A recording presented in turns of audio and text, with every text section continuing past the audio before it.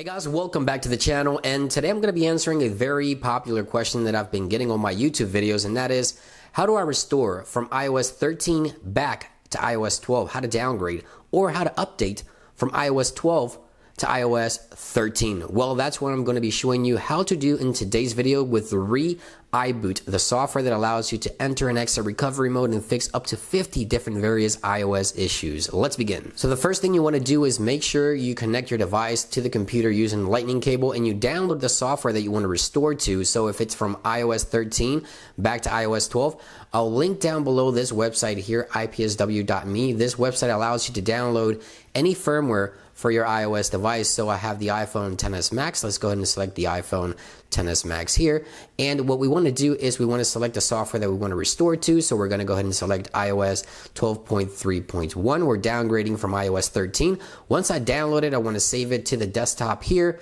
And a quick side note, believe it or not, when I restore to iOS 13 for the first time, my device entered a recovery mode. Now this feature is available here on a ReiBoot. So you can enter recovery mode with one single click. Take a look at the iPhone. I just clicked it and now the iPhone is entering recovery mode. I was stuck on this mode when I first restored to iOS 13 and I used this tool to exit recovery mode because it also allows you to exit recovery mode. So once it is entered into recovery mode, if you want to exit, you can simply click exit recovery mode and it will exit recovery mode.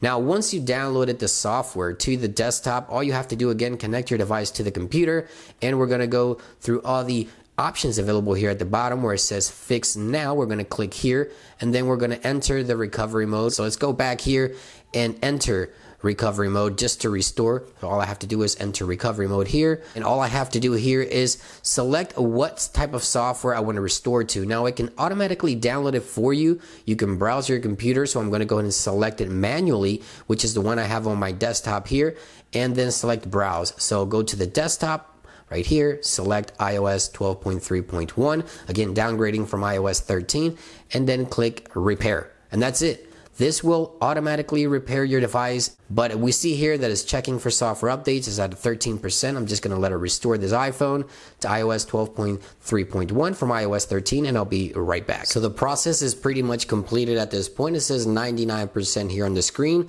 and it is as easy as that to downgrade from iOS 13 to iOS 12 and from iOS 12 up to iOS 13 using the ReiBoot Pro software. Links, of course, will be in the description.